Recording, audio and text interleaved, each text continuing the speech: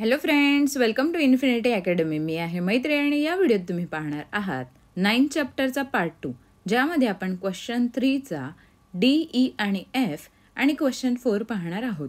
या आधीचे question part वनमध्ये मी कव्हर केलेले आहेत. ते पाहिले नसतील तर आधी पार्ट वन बघावा.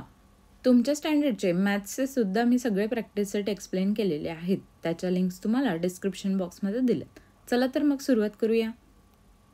डी क्वेश्चन आपल्याला विचारलं आहे explain which mode of heat transfer causes sea breezes and land breezes बघा समुद्र जे आहे त्याचा जो वरचा सरफेस आहे त्यावरनं उष्णतेमुळे बाष्पीभवन होतं आपल्याला माहिती आहे आणि त्यामुळे खारे वारे तयार होतात.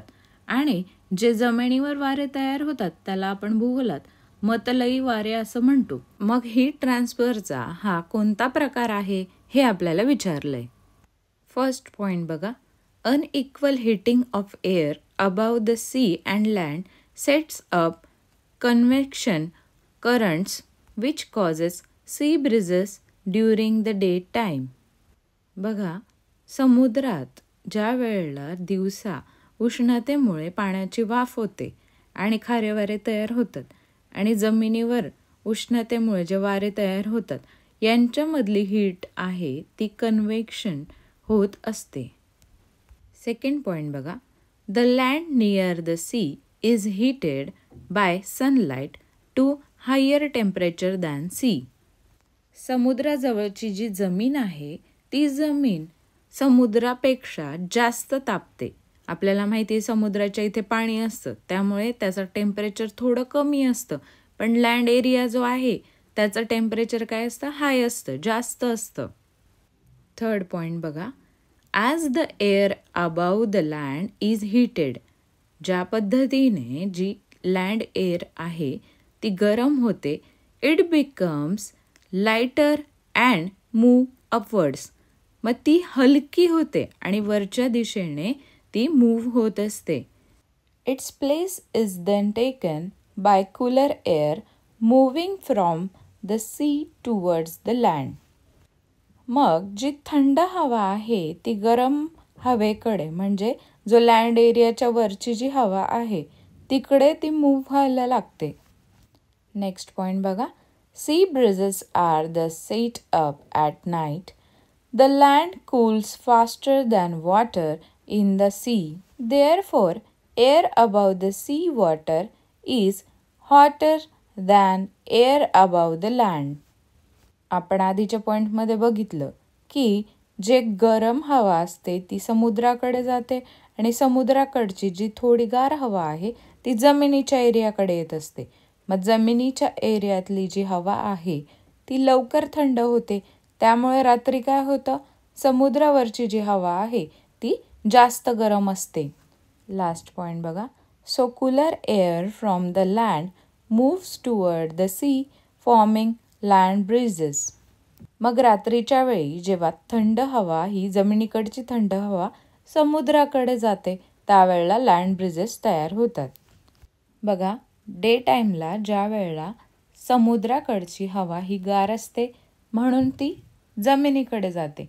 म्हणून खारे वारे तयार होतात सी ब्रिजेस तयार होतात.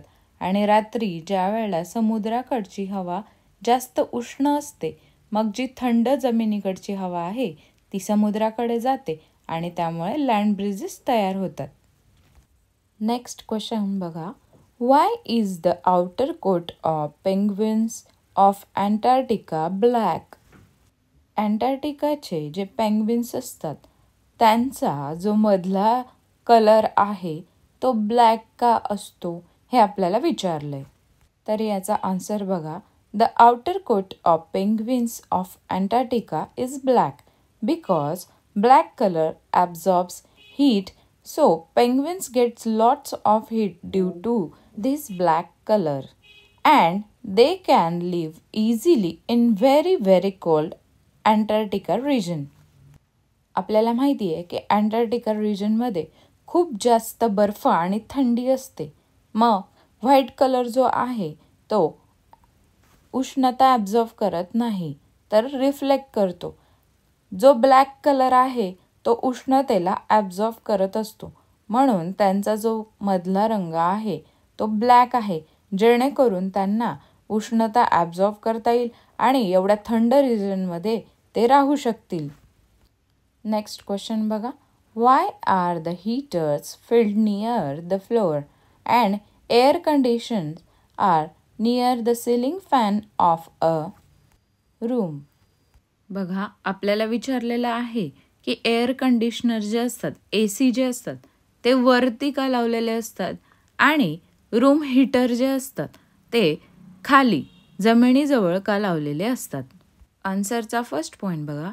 Due to air conditioners air becomes cool so its density increases and it becomes heavy So it goes down and warm air with the less density comes up and take the place of cool air. This cycle goes on and on and whole room becomes cool. Air कंडिशनर्समुळे काय होत असतं की आजूबाजूची हवा ही थंड होते आणि थंड हवा जी असते तिची डेन्सिटी जास्त असते डेन्सिटी जास्त असलेली हवा ही जड होते त्यामुळे ती खाली जाते आणि खालची हलकी हवा वरती येते. त्यामुळे काय होतं? पूर्ण रूम हा गार होत असतो. सेकंड पॉईंट बघा. If it is fitted near the floor then cool air of high density cannot go up and upper air with the low density cannot come down and cooling of the room does not take place properly. So, air conditioners are fitted near the ceiling of room. बघा जर हेच air conditioner आपण जर खाली जमिनीजवळ फ्लोअरजवळ जर fit केलं तर काय होईल जी थंड हवा आहे हाय डेन्सिटीची जी थंड हवा आहे ती खालीच राहील ती हवा वरती जाणार नाही कारण ती जड आहे आणि वरची जी हलकी हवा आहे ती खाली येणार नाही. त्यामुळे पूर्ण रूम हा थंड होणार नाही. म्हणून आपण ए सी जे आहेत ते रूमच्या छताजवळ फिट करत असतो. नेक्स्ट पॉईंट बघा. Heater are fitted near the floor due to heating air becomes hot which is lighter than the cold air so it is goes up and upper air with high density comes down heater जे असतात ते जमिनीलगत म्हणजे फरशीजवळ लावलेले असतात फ्लोअरजवळ का? कारण हीटरचं काम काय आहे? हवा जी आहे ती गरम करायची. मग जी हवा गरम झालेली असते ती हलकी असते. हलकी असल्यामुळे ती वरच्या दिशेला जाते. वरच्या दिशेला गेल्यामुळे पूर्ण रूम हा गरम होत असतो. बघा जो बर्फाळ प्रदेश असतो तिथे खूप जास्त थंडी असते आणि तिथे सर्वाईव्ह करणं डिफिकल्ट होतं. त्यामुळे तिथे हीटर वापरले जातात रूम गरम करण्यासाठी. मग ते फ्लोअरजवळ लावले जातात. नेक्स्ट पॉईंट बघा. This cycle goes on and on and the full room becomes warm so heaters are filled up near the floor. मग गरम हवा हलकी असल्यामुळे वर जाणं आणि वरची जड हवा खाली येणं आणि परत तिला गरम करणं ही सायकल चालूच राहते. त्यामुळे पूर्ण रूम हा व्यवस्थित गरम होतो. फोर्थ क्वेश्चन आपल्याला विचारला आहे गिव्ह सायंटिफिक रिझन आपल्याला शास्त्रीय कारणं द्यायचे तर त्यातला ए आहे and ordinary glass bottle cracks when boiling water is poured into it जर आपण कुठलीही काचेची बाटली घेतली त्यात जर बॉइलिंग वॉटर म्हणजे उकळतं पाणी टाकलं तर त्याला क्रॅक जातात.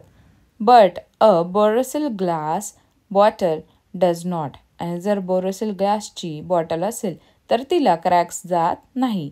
तर हे का? हे आपल्याला सांगायचं आहे आन्सरचा फर्स्ट पॉईंट बघा. And ordinary glass bottle cracks when we pour boiling water into it it because the inner and outer part of the glass आतल्या आणि बाहेरच्या पार्टमुळे त्याला क्रॅक्स जात असतात. सेकंड पॉईंट बघा. The inner part gets hot and expands while the outer part remains cold since glass is a bad conductor of heat बघा जो इनर पार्ट आहे ग्लासचा तो गरम होतो. आणि तो एक्सपांड होतो पण आउटर पार्ट होत नाही. का? कारण तो बॅड कंडक्टर ऑफ हीट आहे. काच जो असतो तो बॅड कंडक्टर ऑफ हीट असल्यामुळे असं होत असतं. थर्ड पॉइंट लिहा. The unequal expansion causes the crack of bottle मग हे अनइक्वल एक्सपान्शन होत असतं त्यामुळे बॉटलला क्रॅक्स जातात. नेक्स्ट पॉईंट बघा. But the Borosil glass bottle has a very high melting point जर बोरोसिलचे जर बॉटल असेल तर तिचा जो मेल्टिंग पॉईंट आहे तो खूप जास्त असतो. So temperature difference is very less hence it does not cracks boiling वॉटरचा melting point काय? हंड्रेड डिग्री असतो. त्यामुळे तो क्रॅक देऊ शकत नाही कारण टेम्परेचरमध्ये जास्त डिफरन्स पडत नाही. नेक्स्ट क्वेश्चन बघा. The telephone wires which sag in summer become straight in winter टेलिफोनच्या ज्या वायर्स असतात त्या उन्हाळ्यात थोड्या लूज होतात आणि लटकलेल्या दिसतात. तेच त्या हिवाळ्यात अगदी सरळ दिसतात. असं का होतं हे आपल्याला विचारलंय. आन्सरचा फर्स्ट पॉईंट बघा. Telephone wire are made up of copper metal metal expands on heating telephone wire ज्या आहेत त्या मेटलच्या बनलेल्या असतात आणि मेटल्स जे आहेत ते गरम झाल्यावर एक्सपांड होतात. सेकंड पॉईंट बघा. In summer the copper wire expands thus the length of the wire increases between the two poles and instead of remaining straight in sags ज्या वेळेला ते कॉपर एक्सपांड होतं त्यावेळेला जी लेंथ आहे दोन पोलमधली ती वाढते. आणि वाढल्यामुळे ते लूज होतात. लूज झाल्यामुळे ते गोलाकार असे आपल्याला दिसतात. थर्ड पॉईंट बघा. In winter due to cold it contracts and becomes back to the original position so it becomes straight in winter. बघा ज्या वेळेला थंडी असते त्यावेळेला जी एक्सपांड झालेली तार आहे ती तार परत कॉन्ट्रॅक्ट होते. त्यामुळे ते स्ट्रेट होऊन जाते. नेक्स्ट क्वेश्चन बघा. Dew drops forms on the grass in winter ज्या वेळेला थंडी असते त्यावेळेला गवतावर दवबिंदू पडतात. आपल्याला छोटे छोटे वॉटर ड्रॉपलेट्स दिसतात ना? ते का होतात हे आपल्याला विचारलंय. आन्सरचा फर्स्ट पॉईंट बघा during winter the temperature of air is low its capacity to hold vapour is less थंडीमध्ये तापमान हे कमी असतं. त्यामुळे त्याची जी वॉटर वेपर धरून ठेवण्याची कपॅसिटी असते ती कमी होऊन गेलेली असते. At such times the excess water vapours is transferred into water droplets due to the cold and so dew drops forms on the grass in winter बघा तिथे ग्रास लिहायचं आहे ग्लास लिहिलं गेलं आहे. थंडीच्या दिवसात जी हवा आहे तिचं टेम्परेचर लो असतो. त्यामुळे ती वेपर्स धरून ठेवत नाही. आणि वेपर्स जेव्हा जास्त होऊन जातात त्यावेळेला ते वॉटर ड्रॉपलेट्समध्ये ट्रान्सफर होऊन जातात. आणि वॉटर ड्रॉपलेट्स तयार झाल्यावर ते गवतावर आपल्याला दिसत असतात. नेक्स्ट क्वेश्चन बघा. In winter why does an iron pillar feel colder than a wooden pole आपल्याला हिवाळ्यात रात्री आपल्या हाताला लोखंडाचा जो खांब आहे तो जास्त थंड वाटतो लाकडी खांबापेक्षा. तर असं का होतं हे आपल्याला विचारलंय. आन्सरचा फर्स्ट पॉईंट बघा. Iron is a metal and metal are very good conductor of heat so it transfer heat at a much faster rate than wood metal जे आहेत ते गुड कंडक्टर ऑफ हीट असतात. त्यामुळे ते लाकडापेक्षा जास्त फास्टर हीट ट्रान्सफर करत असतात. That means When we touch them, metals conductor away energy in the form of heat emitted by our hand and temperature of our land lowers down and we get a cold sensation. This is what makes the metal appears colder than wood. ज्या वेळेला आपण ion पोलला हात लावत असतो त्यावेळेला आपल्या हातातली जी उष्णता आहे ती इमिट होते. म्हणजे उष्णता सोडून ती आयन पोलवर जात असते. त्यामुळे आपल्याला आयन पोल हा थंड लागतो. पण तेच जर मेटल नसेल वूड असेल तर तो बॅड कंडक्टर आहे. त्यामुळे हीट ट्रान्सफर होत नाही आणि तो आपल्याला आयन पोलपेक्षा गरम लागतो. थर्ड पॉईंट बघा. The wood is taking away a heat of a much slower rate वूडचा जो हीट ट्रान्सफरचा रेट आहे तो स्लो आहे. त्यामुळे तो आपल्याला आयनपेक्षा आयन पोलपेक्षा गरम लागतो. तर हे होतं आपलं नाईन चॅप्टर या आधीचे आणि नंतरचे व्हिडिओसुद्धा अपलोड केलेले आहेत. त्याच्या लिंक तुम्हाला डिस्क्रिप्शन बॉक्समध्ये मिळून जातील. तुमचे मॅथ्सचे सुद्धा प्रॅक्टिस सेट सॉल्व केलेले आहेत. त्याचेही तुम्ही व्हिडिओ चेक करू शकतात. चला तर मग भेटूया पुढच्या व्हिडिओमध्ये Thank you.